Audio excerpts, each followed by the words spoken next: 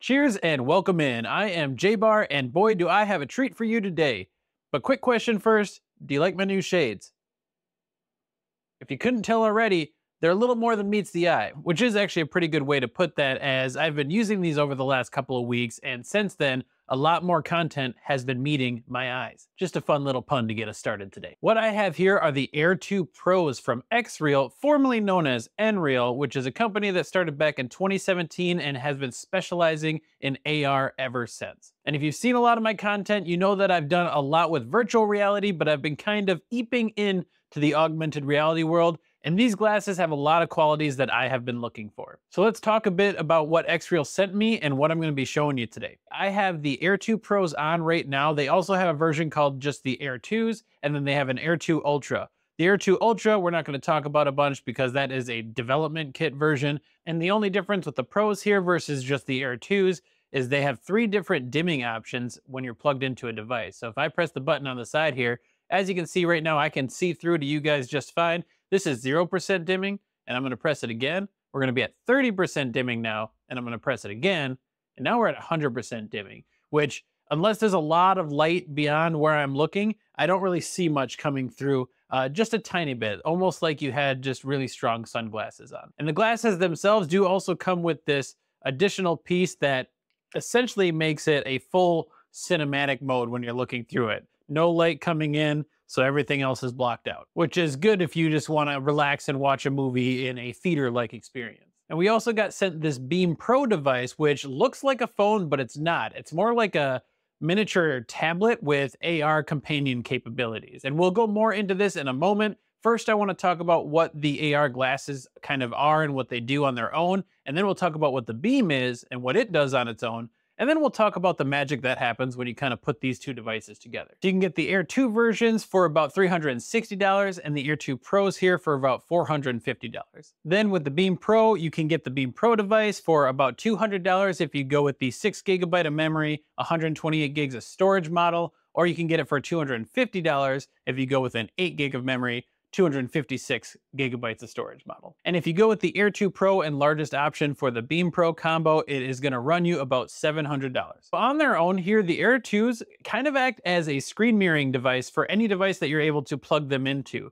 And compatible devices would be anything that can do display over Type-C. So your latest iPhones, iPads, MacBooks usually have that. A lot of Windows PCs and a lot of Android phones. However, unfortunately, my Pixel 7 Pro here does not have that ability. Apparently Google's pretty stingy on allowing display over Type-C, but the latest Pixel 9 series, which I'm gonna upgrade to soon, has them, so I'm pretty excited to try it on that.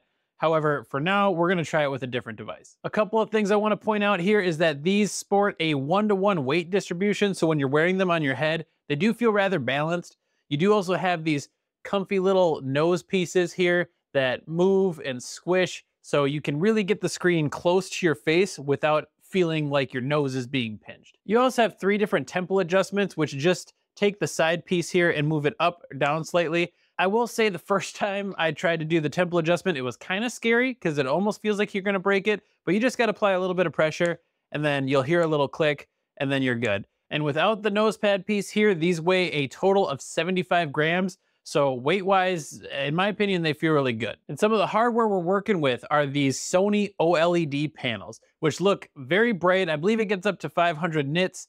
And when you're wearing them, the screen in front of you gets up to 130 inches and it looks amazing. It's, it is like you're in a theater and you just have this nice, beautiful screen sitting right in front of you. You also get a 46 degree field of view out of this, as well as a 120 hertz screen when you're directly plugged into a device, but that does drop down to 90 hertz when you use the Beam Pro, and we'll talk about that a little bit more in a bit here. So we're gonna throw these on here and try them with my Pimax Portal device, which is my poor man's Steam Deck. But As soon as I plug my Air 2s into my Pimax Portal here, I immediately get the mirrored screen and I'm able to just kind of stand or sit or do whatever I want pretty comfortably while using the device. It also automatically has the audio coming out of the speakers on the Air 2s, which in my opinion have been working extremely well. They involve spatial audio, so it beams audio directly into your earballs, and I don't think anyone else around you really could hear it even at full volume unless they were sitting pretty close to you. I just loaded up Metal Gear Solid Twin Snakes. Big shout out to MGS. I'm gonna attempt to show you what this looks like when you're looking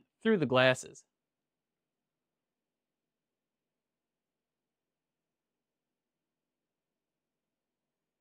Pretty good, huh? I've also used these with my laptop a bit, which has been a very similar experience. I just plug this into the Type-C port on the back of my laptop, and I'm good to go. I have a mirrored view of my screen, and I'm able to just get to work. Let's set the glasses down for a second and talk a little bit about this Beam Pro device. Like I said earlier, the Beam Pro kind of looks like a phone, but it's actually more of a phone-sized tablet that has AR spatial computing type capabilities. I believe XReal calls it an AR companion device. It runs on Android 14 and it's currently the only one out there that comes preloaded with all of your typical Google apps. But beyond that, it mostly works like you would expect an Android tablet or phone to work. However, there is something that makes it special on its own. These two cameras right here that are both 50 megapixels and 50 millimeters apart, which is meant to match the typical human eye interpupillary distance.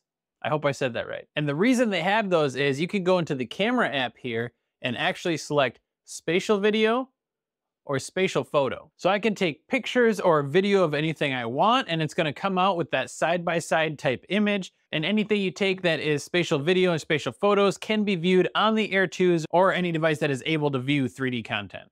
I know there's not a lot of stuff out there, but it is kind of cool having that capability, and maybe we'll see a little bit more of it as we go on. I will post a link in the description here to both a picture and a video I'll take of the VR treadmill behind me. If you do have a device that is able to view 3D content, you can check that out. Now let's dive into what happens when you combine these two devices. One other thing about the Beam Pro here that sets it apart from other devices is it has these two Type-C ports on the bottom one specifically for the glasses connection, and then one for charging. So theoretically, you could be in these things forever as long as you are charging it at the same time that you're using them. I'm gonna plug this in here and we're gonna show you a little bit of the magic that happens when you use these devices together. So here I'll show you a bit of the interface. And as soon as you plug the glasses into the Beam Pro, it goes into this controller mode. And you have a pointer right here that you can recalibrate just by holding the home button on the bottom here. And you just swipe left or right if you wanna page through all of your apps. Very intuitive, very easy. All of our apps are in this almost Apple Vision Pro-like interface. I can see everything past the glasses and past the apps as well. So I can kind of have these again in different dimming modes depending on how immersed I want to be in this interface. What's utilized here is what they're calling 3DOF hover technology. So as I move around, things are moving with me and it looks pretty stable. There's also zero DOF, which is what essentially stabilizes the image so that if there's a lot of bumps or shakes, this is still staying kind of smooth, kind of follows me. It's kind of uh, flowy, if I could put it that way. And that can help with anything like causing dizziness or motion sickness if you're using these in a car or on a plane, things like that. And because this is an Android device, you end up having access to all of the Google Play Store apps. So there's millions of apps out there that anything that you could have on your typical Android devices, you can have on this, whether it's to view content, to do gaming, or to be productive all of that works great. We also have a couple of different modes to play with. There's the follow mode, which is what you're in by default, where it just nice and smoothly follows my vision here. Or if I just tap this orange button on the side, I can switch it to an anchor mode. So wherever I was looking, it's gonna anchor that in relation to my body. So that way I can work on something over here, maybe while watching a tutorial over here. You can also load up multiple apps at a time and kind of have them in this side-by-side -side mode. Another thing that could be useful if you are watching some sort of tutorial or uh, video on something that you're trying to learn and you're trying to take notes on the other side. Quite a few applications for this and you can tap a little middle button here to kind of switch what's in your immediate display. When you're in the follow mode, you can actually change the window side from a medium to a large, depending on how you want to view it. There's also this broad view beta, which I'm typically always in that mode. I haven't had any issues with it. That one just kind of gives you this more widescreen view.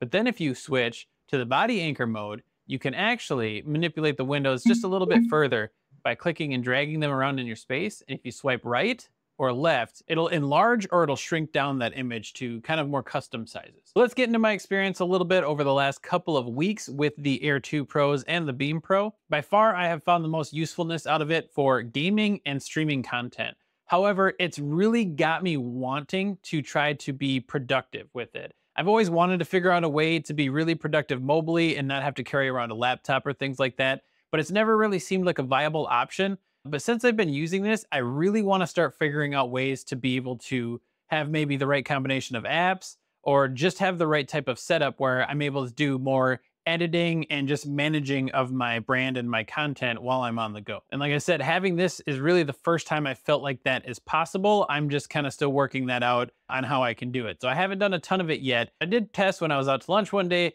trying out a little Bluetooth keyboard that I have that I can connect to the Beam Pro and responding to some emails, and that was a pretty good experience. But when it comes to streaming movies and playing games, I have had an amazing experience with these things at night because I have a really cool deal with my fiance where she just watches whatever she wants and I have no say in it.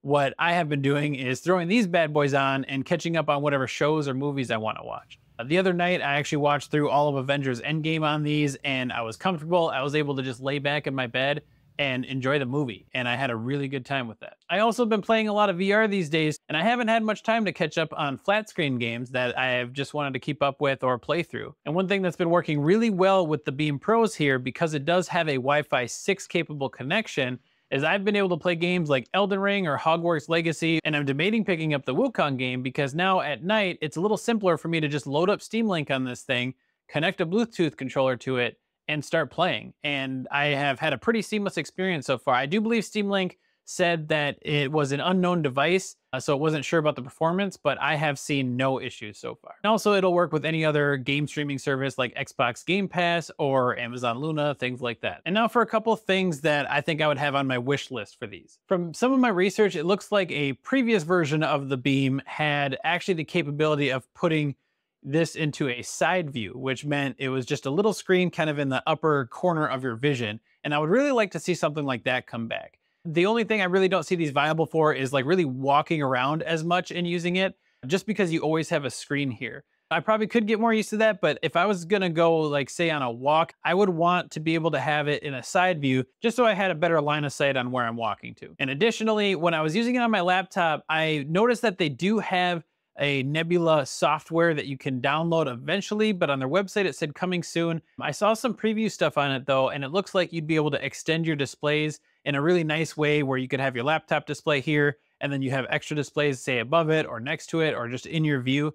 I would like to see that come out and hopefully be performant and pretty fleshed out in terms of what kind of options we have for extended screens that could be a huge help towards productivity when I'm not in my studio here. Uh, just to share some of my final thoughts on this, I really like these. Uh, like I said, I've been using them every day for the last couple of weeks since Xreal sent them to me, and I just keep coming back to them. I find them extremely comfortable, so I've been able to wear them for long periods of time. I am not the type of person who wants to wear my Quest 3 and do like productivity or watch a full movie or anything like that. And even I had a brief stint trying an Apple Vision Pro. Neither of those devices were something that I felt I would want to sit through a whole movie in or especially go out in public in. I find these much more enjoyable for flat screen gaming and just viewing content compared to a bigger device like the Apple Vision Pro or the Quest 3. And I'm just not the type of person that wants to go out in public with a full VR device strapped to my face and get a lot of looks from that. I feel like I could at least be a little bit more incognito. And I 100% am going to be taking this anytime I'm traveling, especially going on airplanes. I This is a game changer in terms of just being able to sit comfortably on an airplane and watch any content you want. You can expand the storage on the Beam Pro here. You could store a lot of offline content on it as well. So there you have it. I really hope you found this video informative. Please let me know in the comments below if you have any questions for things you don't think I've answered yet. And make sure you hit that subscribe button so you see more of my content down the road. Cheers, and we'll see you guys in the next one.